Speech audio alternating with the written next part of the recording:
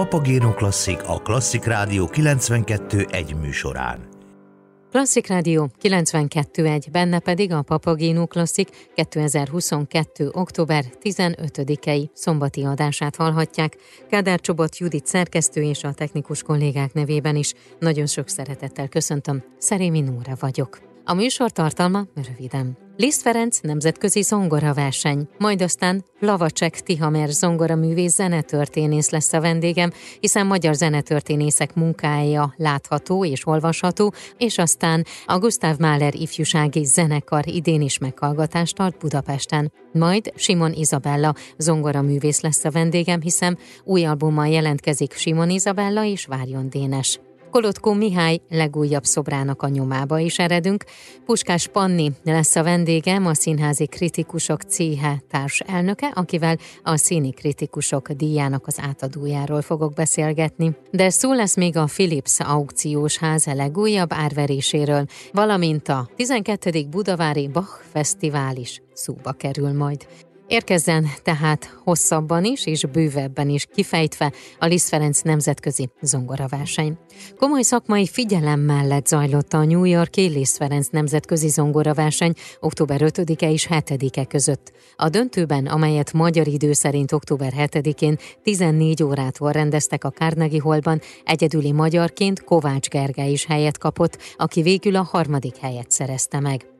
A New Yorki Liszt Ferenc Nemzetközi Zongoraverseny 2022-re a világ egyik legjelentősebb zongoraversenyévé nőtte ki magát. Az előválogató után a négy kiválasztott döntős szóló és zenekari döntőn vett részt a Carnegie Hallban, ahol az Orchestra of St. Luke's együttest Hollerung Gábor vezényelte. György Ádám művészeti vezető, a zsűri elnöke Farkas Gábort, a Zeneakadémia tanszékvezetőjét és a John Hopkins Egyetem professzorát hívta meg a zsűriben. A döntőben a tájváni Yi Cheng Feng mellett a japán Eri Yamamoto, a New Yorki Maxim Lando és Kovács Gerger versenyzett. Kovács Gergely Békés Csabán született, zongoratanár nagymamája segítségével kezdett zenét tanulni négy éves korában.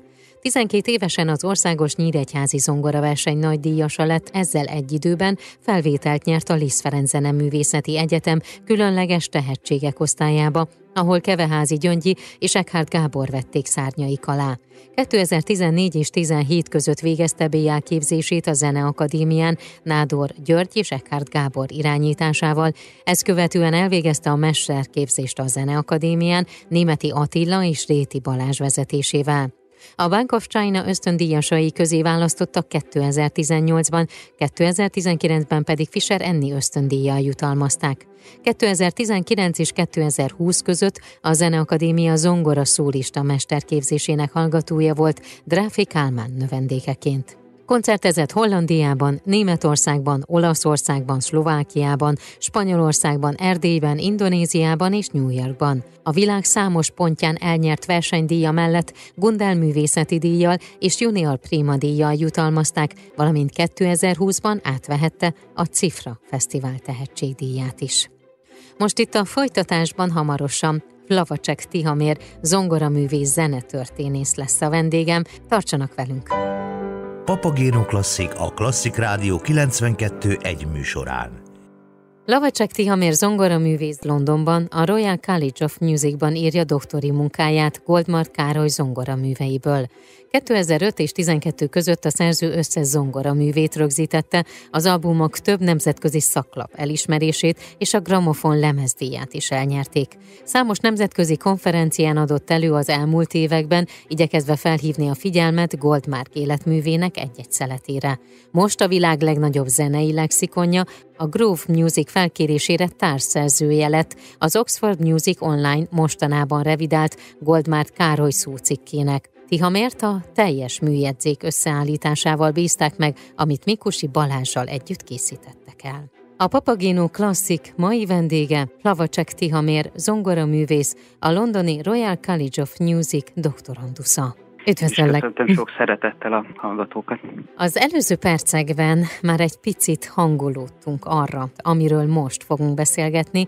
Goldmár Károlytól hallhattak egy zenei részletet. Számodra miért jelentőség teljes Goldmár Károly? Hozzám személy szerint nagyon erősen kötődik. Én elég régóta foglalkozom már a, az ő zenéjével. Még annak idején Frankül Péter, az én akkori professzorom, akinek a Yale Egyetemen tanultam, ő hívta föl a, erre a repertoárra a figyelmem. Ez 2004-ben volt, azóta az összes darabját megtanultam, fölvettem, eljátszottam, lemezre vettem a Hungarotonnál, tehát egy elég hosszú és elég mély kapcsolat fűz a mesterhez. Meg kellett ismernem egy ilyen felvételsorozat elkészítése előtt az ő teljes életművét. Uh-huh. Annyira részletesen, amennyire csak ez lehetséges volt, nem csak az zongorazenét, hanem minden szimfonikus, opera, kamarazene, dalok, tehát egy, egy nagyon részletes mély képet kellett, hogy kapjak róla és minél többet hallgattam, annál jobban megszerettem. És aztán a felvételek során is valahogy egyre, egyre mélyült ez a kapcsolat, úgyhogy azóta is igyekszem a koncertműsoraimban is helyet adni Goldmark műveknek is, mert úgy érzem, hogy abszolút egy értékes repertoár, és sajnos nem a helyén van kezelve, úgy érzem még ma sem. Ez külföldön vagy Magyarországon? Is is, nincs kellően a figyelem ráirányítva. Talán Magyarországon még jobban, azt gondolom, mert Magyarországhoz is nagyon sok szállal kötődik, hát ugye itt született uh-huh. kezd helyen. Goldmark később Bécsben él, de hát ez a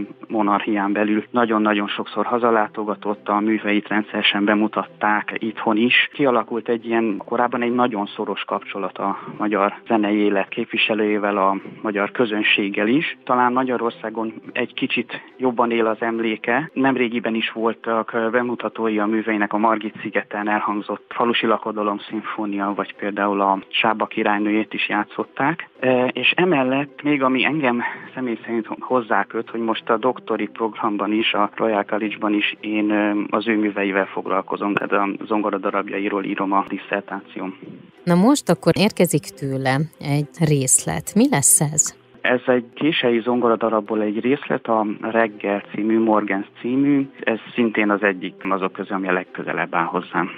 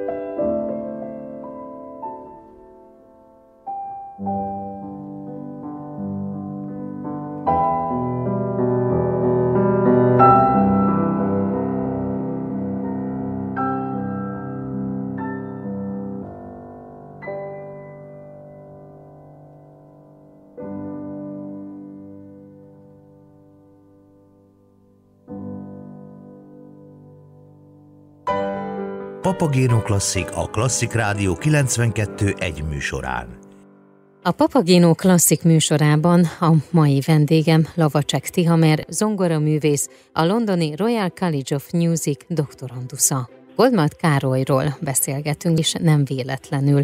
Ahogy ugye hallhatták, nagyon régóta szoros kapcsolatban van egymással a két szerző, mondom ezt így, és kicsit idézőjelbe, de ami miatt mi most beszélgetünk, az az, hogy megjelent egy szócik, Goldmár Károlyról, amelyhez neked nagyon sok között van. Nemrégiben jelentette meg a Grove Music Online a revidált Goldmar Károly szócikket, aminek nagyon megtisztelő módon a szerzőtársa lehettem. Engem arra kértek meg, hogy teljes műjegyzék elkészítését vállaljam föl. Kiderült, hogy ez a szócik most van felülvizsgálat alatt. Persze én ennek nagyon örültem, és nagyon nagy megtiszteltetés, de én ehhez megkértem Mikusi Balázs zenetörténészt, ő is működjön közre ebben, mert ő a, már az Országos Széchenyi Könyvtár zenei gyűjteményének a vezetőjeként is nagyon sokat foglalkozott Goldmarkkal, az, az ő hagyatékával. A Goldmark időskori visszaemlékezéseinek az a legújabb szerkesztett kiadása és az ő nevéhez fűződik. Így ketten együtt készítettük el ezt a meglehetősen nagy-nagy munkát. Ez mit jelent a meglehetősen nagy munka? Elképzelni se tudom, hogy mennyi munkaóra van mögötte. Inkább egy hosszú folyamatnak a vége. Uh-huh. Nyilván nem a, a legnagyobb része, hogy magát a, a cikket megírni, illetve a jegyzéket, hanem kutatás, amit a Balázs is meg én is már évtizedek óta végzünk. Én annak idején, amikor elkezdtem elkezdtem a zongoraművek felvételei miatt utána nézni az anyagnak. Az magában foglalta nem csak a kiadott darabokat, hanem a kiadatlanokat is, tehát igyekeztünk minél teljesebb teljességre törekedni. Onnantól kezdve, hogy a kéziratokat elő kellett bányászni, és el kellett olvasni, át kellett írni, hogy olvashatóvá, játszhatóvá tegyem ezeket. Mert itt az a probléma, hogy még most is, akár az ilyen nagy tekintélyű és nagyon sokat használt lexikonok, mint a Grove vagy a német MGG, a műjegyzékek nagyon hiányosak. És még most is csak bizonyos főművek szerepelnek, és a többi kevésbé ismert művet, vagy akár kiadatlan műveket pláne teljes homály fedi. És ezeket a műveket fel kellett térképezni. Goldmar Károlyról beszélgessünk még egy picit. A te szemüvegeden keresztül milyen volt Goldmar Károly? Fokozatosan kialakult bennem egy kép, illetve több is, nem csak a zenéjén keresztül, hanem nagyon sok mindent megismertem így a az ő életével, a körülményeivel kapcsolatban, hogy milyen rettenetes nehéz háttérből indult, és hogy milyen kemény munka árán jutott el oda, hogy saját korában Bécsi zenei elit része volt, nemzetközileg is ismert, tehát hogy ide hogyan küzdötte föl magát. Ez egy nagyon-nagyon szimpatikus vonás, hogy nem adta föl, akkor is, amikor nagyon reménytelennek látszottak a körülmények, akár az éhezés, konkrétan a fizikai éhezésben volt, de úgy is megismertem őt, mint egy nagyon, nagyon emberi és nagyon mély érzésű ember. Vannak erről beszámolók, hogy például amikor az ő operáit bemutatták és próbálták, hogy szakmai tekintetben nagyon-nagyon igényes volt, szinte kíméletlenül igényes, hm. de mint ember ugyanakkor nagyon megértő és nagyon empatikus is tudott lenni. Nagyon sok olyan vonása van, ami nekem személy szerint is szimpatikus, és ezt érzem a zenéjén keresztül is, hogy ezek átjönnek. Mivel fejezzük be ezt a beszélgetést? Kérdezem, mindezt teljesen minden nem hátsó szándék nélkül, hiszen ugye két zenei részletet már meghallgattunk, és mi legyen az, amivel zárjuk ezt a beszélgetést? Hát arra gondoltam, hogy fejezzük be egy olyan részlettel, ami, ami őt Magyarországhoz köti, és a magyar zene elemeiből jó néhányat felsorakoztat ebben a műben. Leginkább Liszt magyar rapszódiáihoz hasonlítható, és akkor legyen ez a, az ő magyar rapszódiájából, a Magyar Ábrán című műből egy részlet. Nagyon szépen köszönöm, és gratulálok ez az eredményhez, és kívánom, hogy még rengeteg, rengeteg olyan dolog történjen az életedben, ami ilyen mérföldkő lesz, és hogy sokszor beszélgessünk még. Köszönöm szépen. Nagyon szépen köszönöm én is a lehetőséget. A Papagino klasszik vendége, Lavacsek Tihamér, zongoraművész, a londoni Royal College of Music PhD hallgatója volt.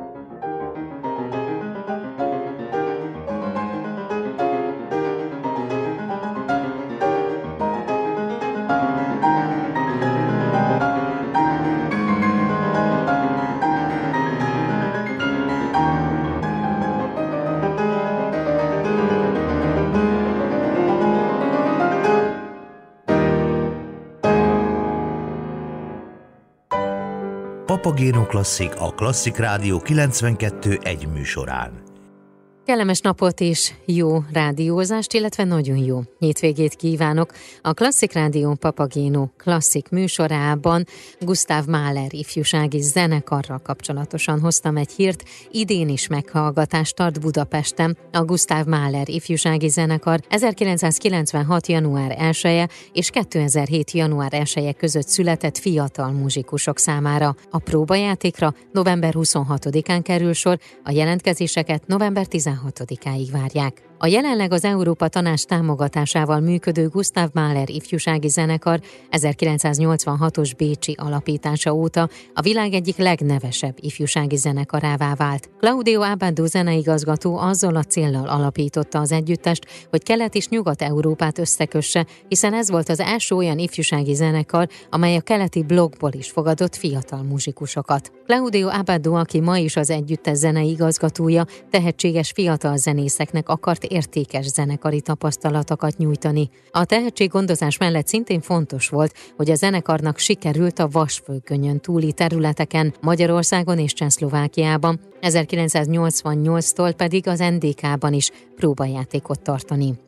1992 óta Európa minden országában jelentkezhetnek az együttesbe a 26 évesnél fiatalabb zenészek. Az évente szervezett próbajátékokat ma már több mint 25 európai városban tartják. Az Abadó által felkért tagok minden évben körülbelül ezer pályázó közül választanak. Az egykori tagok közül többen jelentős szimfonikus és kamarazenekarokban, a Bécsi és a Berlini Filharmonikusoknál, vagy a Lipcsei Gewandhaus zenekar csapatában, a londoni szimfonikusoknál, az amsterdami Koncertgebau zenekarban játszanak. A kezdetektől professzionális együtteseket is megszégyenítő szakmai és technikai színvonalat képvisel, produkcióit a muzsikálás szenvedélye szeretete fűti át. Claudio Abaddo mellett olyan dirigensek dolgoztak a zenekarral, mint Pierre Boulez, Ötvös Péter, Fischer Iván, Kent Nagano, Maris Jensons, Seiji Ozawa és Franz Felzer Möst. A 2022-es budapesti próbajátékra november 26-án kerül tehát sor, a jelentkezéseket november 16-áig várják. A folytatásban egy új lemezről fogok beszélgetni Simon Izabellával, amely a The French Album nevet viseli. Papagéno Klasszik a Klasszik Rádió 92 egy műsorán.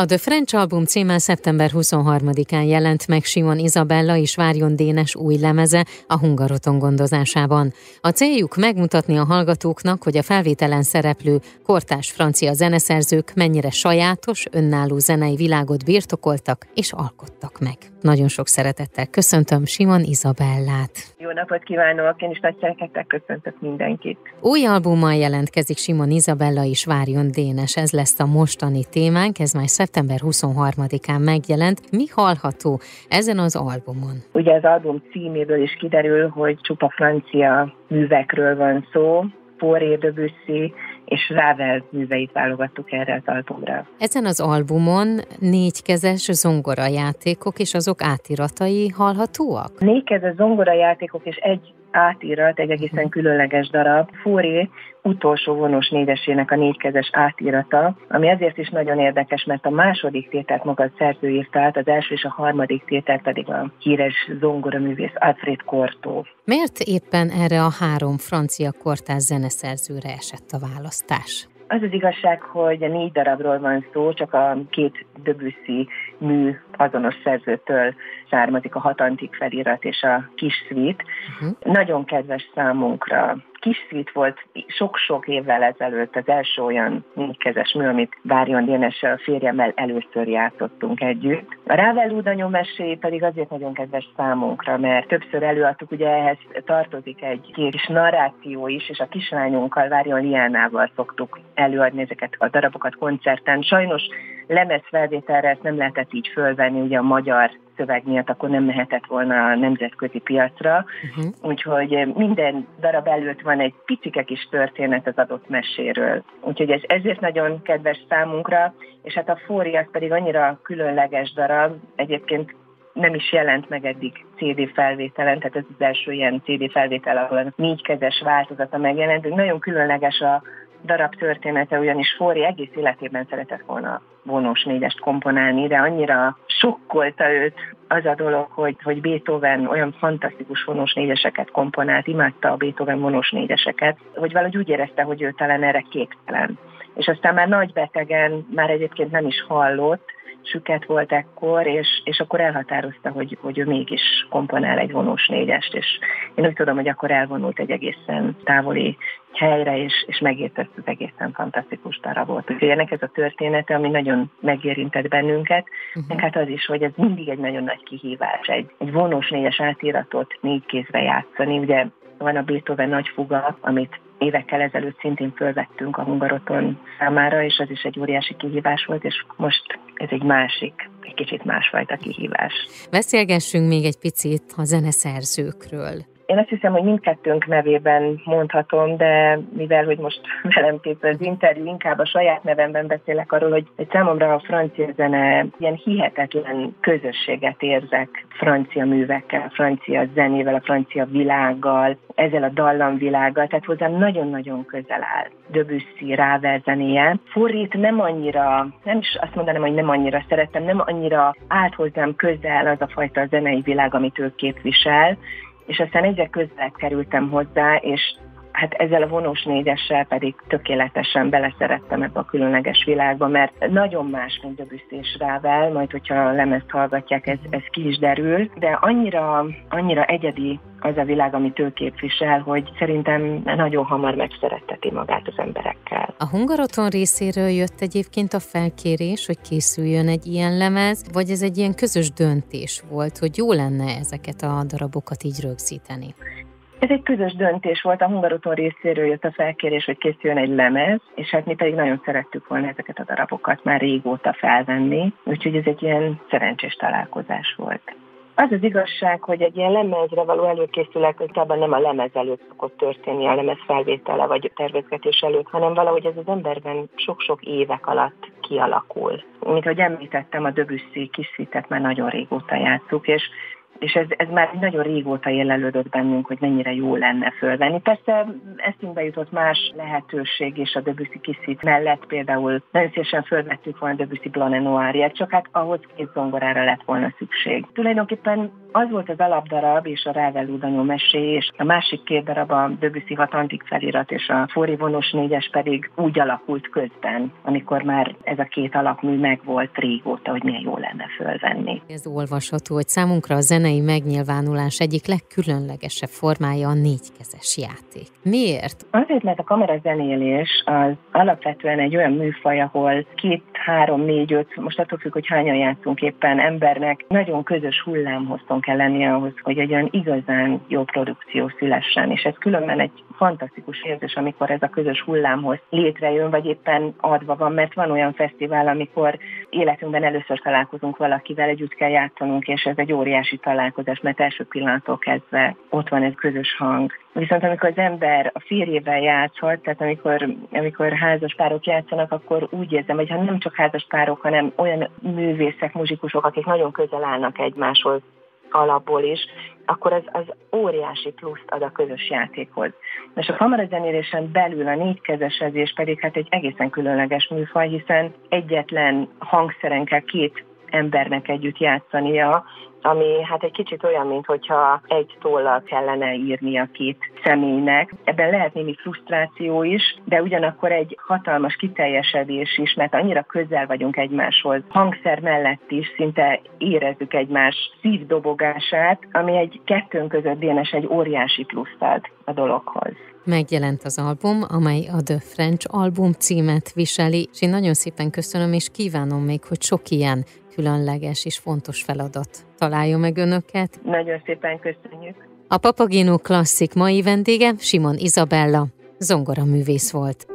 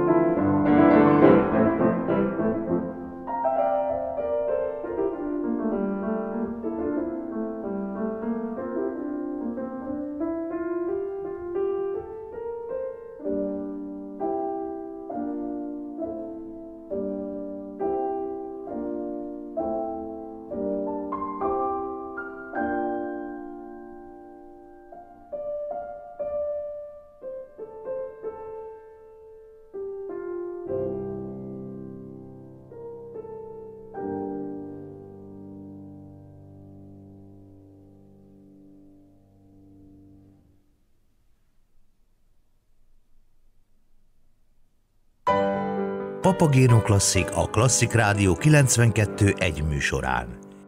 Néhány percen belül friss hírek, információk érkeznek. Egy izgalmas óra áll mögöttünk. A New Yorki Liszt Ferenc nemzetközi zongora verseny eredményéről számoltam be, majd aztán hallhattok egy beszélgetést Lavacsek Tihamer zongora művész zenetörténésszel. A Goldmark Károly szó cikkről beszélgettünk és aztán a Gustav Mahler ifjúsági zenekar felhívását is közzétettem és ismertettem önökkel, valamint Simon Izabella zongora művész és a vendégem volt. A következő órában is folytatódik a Papagénó klasszik, akkor Kolotkó Mihály legújabb szobrának a nyomába eredünk, majd aztán Puskás Panni lesz a vendégem, a Színházi Kritikusok céhének társ elnöke, 14 kategóriában osztják ki idén is a színi kritikusok díját, és aztán ellátogatunk számítunk egy New Yorki árverésre, valamint a 12. Budavári Bach Fesztivál is szóba kerül majd. Tartsanak velünk a következő órában is. Papagéno Klasszik a Klasszik Rádió 92 egy műsorán. Klasszik Rádió 92.1, benne pedig a Papagénó Klasszik 2022. október 15-i szombati adását hallhatják. Kádár Csobot Judit szerkesztő és a technikus kollégák nevében is nagyon sok szeretettel köszöntöm. Szerémi Nóra vagyok. Folytatódik a Papagénó Klasszik, Kolotkó Mihály legújabb szobrának a nyomába eredünk, majd aztán Puskás Panni lesz a vendégem, a Színházi Kritikusok céhének társ elnöke, 14 kategóriában osztják ki idén idén is a színi kritikusok díját, és aztán ellátogatunk egy New Yorki árverésre, valamint a 12. Budavári Bach Fesztivál is szóba kerül majd. Most ismét egy kis sétálásra hívok mindenkit. Egy hónapja adtunk hírt Kolotkó Mihály legutóbb kikerült apró alkotásáról, akkor a szobrász a Dunapart egy szakaszán Keleti Márton 1965-ös film vígjátékának a tizedes meg a többiek egy jelenetét öntötte szoborba. Most a 8. kerületi Bókai János utcában bukkant fel egy szurikát a szobor, amely az inzulin felfedezésének századik évfordulójára és a diabétesz korai felismerésére hívja fel a figyelmet. A gyermekkori diabétesz bárhol bárkinél felbukkanhat ugyanúgy, mint Kolotkó Mihály gerilla szobrai. A kis szurikát a szobor szeretné felhívni a figyelmet arra, hogy a diabéteses gyermekek észrevétlenül is köztünk élnek, nyilatkozta Kocsisné Gál Csilla, a Szurikáta Alapítvány, a diabéteses gyermekekért elnöke a szobor kihelyezésekor. Az ország legnagyobb diabétesz gondozó centruma az egyes számú gyermekgyógyászati klinika előtt. Az alapítvány az életmentő inzulin felfedezésének századik évfordulója alkalmából a diabétesz korai felismerését célzó Figyeld a jeleket kampány részeként kérte együttműködésre Kolotkó Mihályt, aki jótékony adományként bocsátotta az alapítvány rendelkezésére alkotását.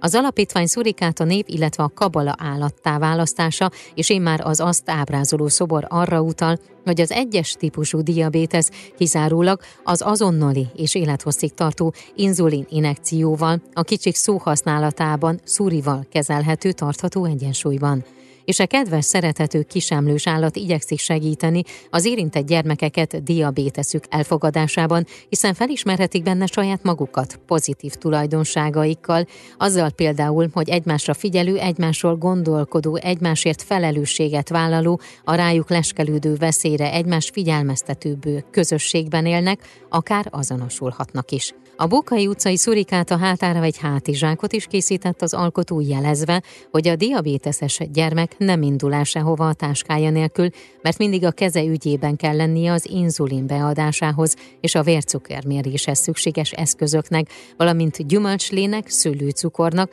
vagyis gyorsan felszívódó szénhidrátnak arra az esetre, ha a vércukor szintje alacsony lenne. A folytatásban egy kicsit más téma érkezik itt a Klasszik Rádió 92 egyen a Papagéno Klasszik műsorában. 14 kategóriában osztják ki idén a színi kritikusok díját. Puskás Pannival fogok beszélgetni, a Színházi Kritikusok Céhe társelnökével. Papagéno Klasszik a Klasszik Rádió 92 egy műsorán.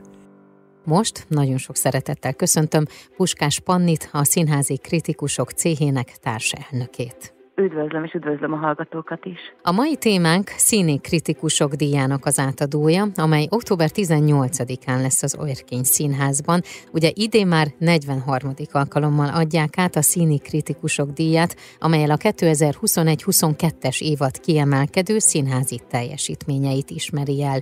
Májusban már ugye egy-két dolgot nyilvánosságra hoztak, először beszéljük ezt át. Az életműdíjat hoztuk először nyilvánosságra, Cserhalmi György fogja kapni, ez már egészen-egészen biztos, illetve minden évben kiadunk egy külön díjat, ezt idén szintén nyilvánosságra hoztuk a díjátadó előtt, az Alkalmáté Trupp fogja kapni. Ez egy 2007-től 2021-ig működött előadás sorozat tulajdonképpen, még alkalmi előadások voltak, Máté Gábor és Horvai István volt osztálya, Máté Gábor rendezésében hozta uh-huh. őket létre, 2003-ban végzett osztály. Minden évben az osztályban járó egyik színészről készítettek előadást, például olyan színészekről, mint Járó Zsuzsa, Szantner Anna, Kovács Patrícia, Mészáros Máté, Péter Kata, Száraz Dénes, csak így a teljesség nélkül, és ezek ilyen önéletrajzi ihletésű előadások voltak, évről évre kegyetlenül őszinte előadások, ezeket egy-két napon lehetett látni minden évben, nem voltak repertoáron sehol, hanem kifejezetten alkalmi előadások voltak. És akkor alapítottunk idén egy új díjat. Igen. Ennek az a neve, hogy Jövődíj, amit a 30 éves Kerekasztal Színház és a 25 éves Káva Kulturális Műhely kapnak meg. Azért ők nagy elmaradásai vannak tulajdonképpen a színházi szakmának, színházi nevelésre való figyelésben, vagy annak díjazásában. Magyarországon a színházi nevelés, ezt viszonylag kevesen tudják, Európa szinten az egyik legjobb, ha nem a legjobb. A több évtizedes történetük alatt sokkal kevesebb figyelmet kaptak, mint amennyit ők megérdemeltek volna, és a díjat a továbbiakban is szeretnénk majd átadni. Igazából jövődi az fontos társadalmi feladatokat ellátó innovatív kezdeményezéseknek fog járni a jövőben. Egy érdekes dolog még az, hogy a gyerek és ifjúsági kategóriánk az idén egy kicsit másképpen alakult, mint ahogy az elmúlt években. Idén ugyanis felállítottunk egy külön grémiumot, ami olyan kritikus kollégákból áll, akik rengeteg gyerek és ifjúsági előadást látnak az évad során, és vidéken, vidéki bábszínházakban is adott esetben rengeteg előadást látnak. És most azt történt, hogy három olyan előadás került be, amik nagyon nagyon nem evidensen szoktak bekerülni, hiszen vagy vidéki bábszínházból kerülnek ki, az egyik a Budaörsi Latinovic színházból, a másik a Kőszegi Várszínház és a Mesebolt bábszínháznak a közös produkciója, uh-huh. illetve Halhatatlanságra vágyó királyfi a harmadik, ami pedig a Manna produkció előadása, ugyanakkor fiatal, éppen végzett bábszínész és bábrendezők hozták létre ezt az előadást. Milyen volt a 2021-22-es évad? Ez nagyon érdekes különben, mert valóban az előző évad az egy post-covid évad volt. És pont ez, hogy alkotók előtte viszonylag hosszú időn keresztül nem a szokásos malomban dolgoztak és hozták létre folyamatosan az előadásokat, hanem egyszerűen talán volt egy kis idejük leülni, pihenni, elgondolkodni azon, mhm. hogy tulajdonképpen mit szeretnének csinálni, ez egy nagyon értékes és nagyon izgalmas évadot hozott létre tavaly. És nagyon, nagyon sokfélét, és nagyon, tényleg ez szerintem egy kifejezetten jó színházi évad volt az előző. És azt hiszem, hogy az a tanulsága, amit aztán persze nem lehet majd kamatoztatni, hiszen a magyar színházi széna meg, meg rendszer nem így épül fel, de hogy az alkotóknak egyszerűen időnként szükségük van pihenésre és új impulzusok gyűjtésére, ahhoz, hogy izgalmas és előremutató színházi előadásokat tudjanak létrehozni. A színházi kritikusok céha az 1979-80-as évad teljesítményeit ismert el első alkalommal a színi kritikusok díjával. A C tagjainak szavazatai alapján jelenleg 15 kategóriában adják át a díjat. Az életműdíjat 2011-ben hozták létre. A színházi kritikusok céhe idén 43. alkalommal adja a színi kritikusok díját. Az esemény ugye, ahogy említettem, október 18-án lesz, a gála a közönség számára nyilvános, az esemény rendezője pedig Mácsai Pál, közreműködői pedig az Örkény Színház művészei. Hogyan fog ez az estem alakulni? Az az igazság, hogy ez egyelőre titok, uh-huh. mert minden évben, ahogy említette is, a színikritikusok a Diának gáláját egy rendező megrendezi. Ez annyira titkos, hogy ezt egyelőre mi magunk, a kritikus C tagjai sem tudjuk, hogy mi vár minket a színpadon, hanem minden alkalommal meglepődünk. Nagyon izgalmas és nagyon-nagyon teátrális gála műsorok szoktak ezek lenni, úgyhogy érdemes követni az eseményeket, illetve még pár jegy, ha jól tudom, van a Kerdi díjátadó gálára, úgyhogy ha valaki esetleg szeretne rá lecsapni, akkor az nagyon-nagyon gyorsan ezt még megteheti. De egy kampány is kapcsolódik a színi kritikusok céhéhez idén szeptemberben egy adománygyűjtő kampányt szerveztünk, és ez egy követes adománygyűjtő kampány volt. A következő évre, a 2023-as színikritikusok díjára gyűjtöttünk, és a követeink között például olyan elismert színházi képviselők voltak, mint Alföldi Robert, Fodor Tamás, Székely Kriszta, Székely Csaba drámaíró, Vidovszki György rendező, Dr. Johanna koreográfus, Tom Pandra színikritikus és író, és ez egy nagyon-nagyon sikeres adománygyűjtő kampány volt. 2 millió 370 ezer forintot gyűjtöttünk a végére, és ezt az egészet a következő éves gálára fogjuk fordítani, és iszonyú hálásak vagyunk a követeinknek és az adományozóinknak, hogy mellénk álltak. Én nagyon-nagyon szépen köszönöm, és kívánom, hogy nagyon sikeres legyen az idei díjátadó is, és hogy nagyon nagy örömet lejjen mindenki benne, és a nyerteseknek meg előre gratulálunk, aztán pedig utólag meg majd beszélgessünk, hogy kik kapták meg a díjakat. Köszönöm szépen. Rendben, én is köszönöm. Az elmúlt percekben Puskás Pannit hallhatták, a színházi kritikusok céhének társ elnökét. Papagéno Klasszik a Klasszik Rádió 92 egy műsorán. Kellemes napot, jó rádiózást kívánok! Most ismét New Yorkba látogatunk el képzeletben, már is mondom miért. A Philips aukciós ház New Yorki árverésén két egészen ritka, különleges műalkotás kerül kalapács alá november 15-én. Egy 20 éves művészeti főiskolára járó fiatalember meglehetősen megbotránkoztató önarcképe és egy enteriőrje. Ami a két munkát a gyűjtő szemében igazán értékesé teheti, az az, hogy az akkori főiskolás később Andy Warhol néven a világ pop művészetének legjelentősebb alakja lett, akinek későbbi munkáiért ma sokszor súlyos dollármilliókat fizetnek a műtárgypiacon. Az egykor Magyarországhoz tartozó ma Kelet-Szlovákiában található mezőlaborcról a 20. század tízes éveiben kivándorolt szülők gyermekeként már Amerikában megszületett Andrew Warhol 1945-ben kezdte meg reklámgrafikusi tanulmányait a Pittsburghi Carnegie Institute of Technology. Ekkor még születési nevét viselte, a család neve végéről az A betűt csak később hagyta el, hogy az amerikaiasabban hangozzék, és ugyanakkortól kezdve a keresztnevét is Endiként használta. Éppen 20 éves volt, és egy évvel a diplomája megszerzése előtt állt, amikor elkészítette azt a két képét, amelyek most novemberben a Philips Árvererzőház New Yorki 20. századi és kortás művészeti aukcióján kerülnek kalapács alá, méghozzá most először a műkereskedelemben, hiszen elkészültük óta több mint 70 éve a család birtokában voltak. A két temperával, kartonra készített alkotás közül az egyik egy önarckép, egyes vélekedések szerint a művész első önarcképe. Ezt a portrét, amely akkor még az arcomat az úr adta, de én tudom túrni a saját orromat címmel viselte, beadta egy 1949-es kiállításra, ám azt túlságosan sértőnek ítélték, ezért elutasították. Miután azonban júniusban megkapta a diplomáját, a fiatal művész megváltoztatta a mű címét, és már orpiszkáló Miért válasz engem címmel újra beadta, egy az Arts and Crafts Centerben rendezett tárlatra, ahol nem csak hogy elfogadták és kiállították, de jelentős figyelmet is keltett. A tárlat végén aztán a kép visszakerült a családhoz, akik most úgy döntöttek, hogy beadják árverésre. A Philips szakértői az önarcképet 250 ezer és 450 ezer dolláros becs értékkel indítják majd az aukción. A másik 1948-as munka a nappali egy főiskolai feladatra készült.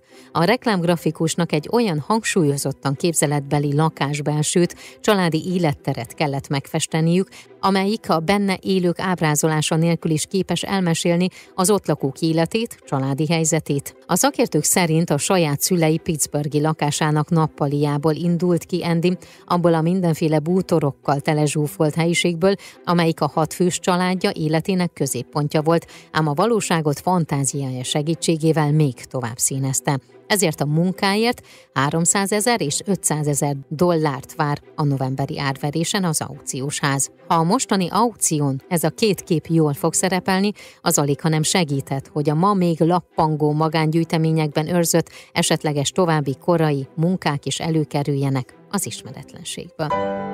Papagéno Klasszik a Klasszik Rádió 92 egy műsorán. A Papagéno Klasszik mai vendégem Bán István, orgonaművész, a Budavári Bach Fesztivál művészeti igazgatója.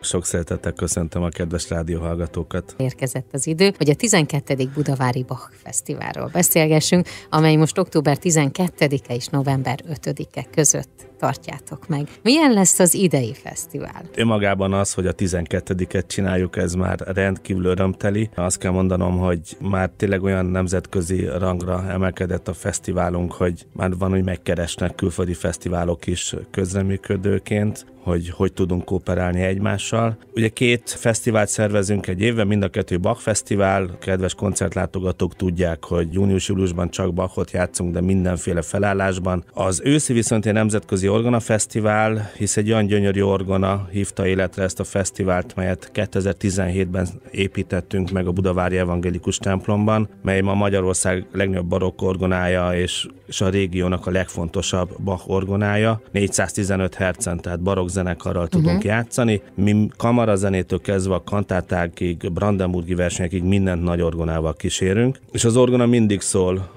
a júniusi fesztiválon is, viszont a Nemzetközi Orgona Fesztiválon ősszel ő van a középpontban, hisz sokkal többre érdemes, mint hogy csak egy fesztivált kapjon, természetesen nem nélkülözve a minden vasárnapi szolgálatát, uh-huh. azért ez nem egy rossz dolog, hogyha egy ilyen orgona szól az Isten tiszteleteken. De szerencsére bejáratódott fantasztikus vendégek jönnek idén is, amire én nagyon figyelek a közreműködők kiválasztásánál, hogy olyan orgonák mellől jöjjenek, melynek szintén olyan jelentősége van a mhm. saját országukban, mint nekünk a Budavári Evangélikus templomban. Na, ezt beszéljük akkor át, jó? Hogy honnan jönnek, milyen orgonájuk van, na és persze mi lesz ezen az esten. Október 19-e szerda, 19 óra. Erwin Wiersing a Groningenből jön, különösen kedves számomra, én nyáron voltam kint, pont amit a beszélgetés elején mondtam, egy kooperáció miatt hívtak ki. Fesztiválnak az egyik részben szervezője volt a legutóbbi Budavári Bak Fesztiválon vendégünk. Groningen az egy orgona paradicsom. És Erwin Wiesing a Martin Kerk organistája, ez a hangszer, ez 600 évet ölel át. Egy hatalmas monstrum. Most, amikor kim voltam, volt szerencsém játszani rajta, hát hogyha szerencsének lehet hívni, mert ez inkább ajándék, mint szerencse. Uh-huh őrület. Tehát olyan, őrület. olyan hangzása van, hogy, hogy az ember, mint hogyha oda lenne ragasztva hozzá, nem akarja ott hagyni. Hatalmas, rendkívül érdekes technikai megoldások vannak benne. Nagy öröm számomra, hogy pont ez a nagyon jeles holland organista, talán az egyik leghíresebb holland organista is ide látogat közénk, aki nagyon várja a koncertjét. Ő Bőmöt választotta, ez teljesen érthető, hisz az a vidék, ahol ő lakik, ez Hollandiának az egyik legészakibb városa. Az északnémet, illetve arra a vidék vidékre jellemző legfontosabb orgonépítő Ápsnitge volt, és ezeken a hangszereken értelem szerint az északnémet irodalom szól a legjobban. Október 22 szombat. Itt viszont két vendég is lesz. Igen, ezt most indítjuk. A Bécsi Zeneművészeti Egyetemnek az orgona tanszéke egy rendkívül dinamikusan fejlődő intézet. Folyamatosan orgonákat építenek, minden stílusra van egy megfelelő hangszerük, és most júniusban voltam kint, egyetem templom a Szent Ursula Kirche a belvárosban, a Johannesgászéban, ott már négy orgona van, és most épült be a legújabb, ami a híres századelei zeneszerzőnek Franz Schmidtnek a házi orgonája, és ezt az orgonát szentelték fel, és akkor beszéltem a tanszékvezetővel, aki már szintén játszott nálunk. Kapcsoljuk össze a két várost, uh-huh. és most sikerült két kiváló növendéket meghívnom a Bécsi Zeneakadémiáról. Ők mit fognak előadni? A mi orgonánk, miután egy Zilberman orgona, rengeteg francia nyomot visel magában, azért hívom nyomnak, mert német orgona, de András Zilbermannál tanulta az orgonaépítés testvérénél, aki a leghíresebb elzászi orgonaépítő volt. Ő francia barokk orgonákat épített, akkoriban mindig arra építették a hangszert, amit megkívánt a zenei környezet. Az egész régióban, tehát nem csak Magyarországon, de nincs még egy olyan orgona itt a környéken, amin ennyire tökéletesen és autentikusan lehetne francia barokkot játszani, úgyhogy ők természetesen ezt választották. Október 26-a szerda lesz az, amikor téged hallhatnak az odalátogatók. Itt a Bach plusz egy, nem azt mondom, hogy csorbát szenved, hanem ki lett egészítve. Arra gondoltam, hogy akkor mutassuk meg, hogy hogy néznek ki egy istentisztelet, hogyha csak Bach lenne rajta. A komplett latin miserend szerint végmegyünk azokon a, a Bach korál előjátékokon, amik a megfelelő liturgiai helyen szerepelnek, és pluszként kiváló énekes barátaimmal rögtön ráénekeljük a bakkorálokat. Van még három koncert hátra a fesztivál végéig, október 29-e. Daniel Brun Kopenhágából, őt például személyesen nem ismertem. Én azért kerestem meg őt, mert a Klavirübung projektem és CD felvétem kapcsán azért körülnéztem, hogy ki mit csinált ebben a témában. Találtam egy embert, aki valami elképesztő higgadsággal és zenei gazdagsággal ezt már fölvette, és ez ő volt. Ő de Grignit választotta, szintén francia barokkot, és aztán a nagyon híres lipcsei korálokból játszik részleteket. Jön a hetedik koncert, amely november másodikán lesz. Ese Piskóta, Andreas Fischer Hamburgból jön, a Szent Katarinen kirchéből. Aki ismeri a hamburgi orgonákat, tudja, hogy van ott egy olyan orgona, amit igazából nehéz hová tenni. A Groningeni 600 éves orgonának egy olyan tükörképe, amit most építettek nemrég. Ez a világ legnagyobb Bach orgonája, egy igazi monstrum, brilliáns orgonás, és nem véletlenül van ez a gyönyörű hangszer mellett, már jó pár éve ő alkotta meg a koncepcióját is. Bach zenejében az egyik legfontosabb német orgona. És ő Kit választod? Nagyon egyszerű Bach plusz Hamburg, tehát olyan zeneszerzőket választott, akiket ő pontosan tudja, hogy, hogy milyen sokat tettek hozzá Hamburgnak a zenei fejlődéséhez. November 5-én szombaton lesz a záró koncert, Bach plusz Telemann. Na, itt viszont kik lesznek? Én nem véletlenül kérdeztem így, hogy kik. Hát ez egy igazi highlight. Az, hogy 4-15 hercen van az orgonánk, és hogy lehetővé teszi, hogy, hogy barokk hangszerekkel játszunk, ez egy olyan ajándék, ami tényleg csak az ért meg, aki oda jön. Ezen a koncerten is előadjuk a háromobás, a második nagy D-dur zenekari szvítjét Bachnak, tehát amikor nem egy csembaló kontinuózik, hanem egy nagy orgona, amikor így hátulról tolja magát rá az orgona az egész zenekarra. Ez tényleg egy olyan érzés, amikor az ember tudja, hogy, hogy a Jóisten ölelő szeretetében van, és mi ezt meg tudjuk csinálni Budavárban. Tehát mi mindent a nagy orgonával kísérünk, és természetesen egy, egy olyan barokk zenekarral, akik a magyar régi zenei életnek a krémjét képezik, meg hát persze kiváló énekesekkel, mert anélkül Bach nem létezik. És miután van egy csalok Benedekünk, aki az egyik legjobb barokk fuvolása az országnak, akkor még hozzácsaptunk egy fuvola versenyt is, hogy azért ne unatkozzunk. Aztán az egész fesztivált, ahogy ezt a koncertet is a 191-es kantáta zárja, nehéz könnyek nélkül felkonferálni, mert ez maga a tiszta őrület. Ez a szín tiszta eufória. Én azt gondolom, hogyha valaki eddig gondolkodott rajta, hogy elmenjen, most biztos, hogy elmegy. Köszönöm. Én is nagyon köszönöm, és sok szeretettel várunk mindenkit. Hallgassanak Bachot rengeteget. Papagéno Klasszik a Klasszik Rádió 92 egy műsorán. Néhány perc múlva újra friss hírek, információk érkeznek. A Klasszik Rádió 92 egyen véget ért a Papagéno Klasszik 2022. október 15-i adása. Jó néhány interjút hallhattak, amelyeket természetesen most is megtalálnak a Papagéno Classic blogjában, illetve a klasszikrádió.hu weboldalon vissza tudják hallgatni. Az ismétlésre a holnapi napon este 7 órától kerül sor. Én Kádár Csobot Judit szerkesztő nevében is megköszönöm a figyelmüket. Az elmúlt két órában Szerémi Nórát hallhatták. További nagyon jó hétvégét kívánok! Készült a Médiatanács támogatásával a Médiatanács támogatási program keretében.